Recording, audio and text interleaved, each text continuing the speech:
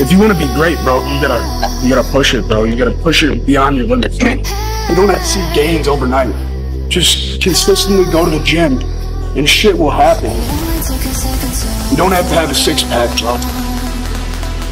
If you want it, cool. You got it, that's fucking sick. If you have it all, you're a fucking demon. But understand your strengths, your weaknesses. You can't look like someone else, no matter how hard you try. You're not gonna have Baron Switches. But if you train hard, you can maximize your genetic potential and be the sickest version of yourself.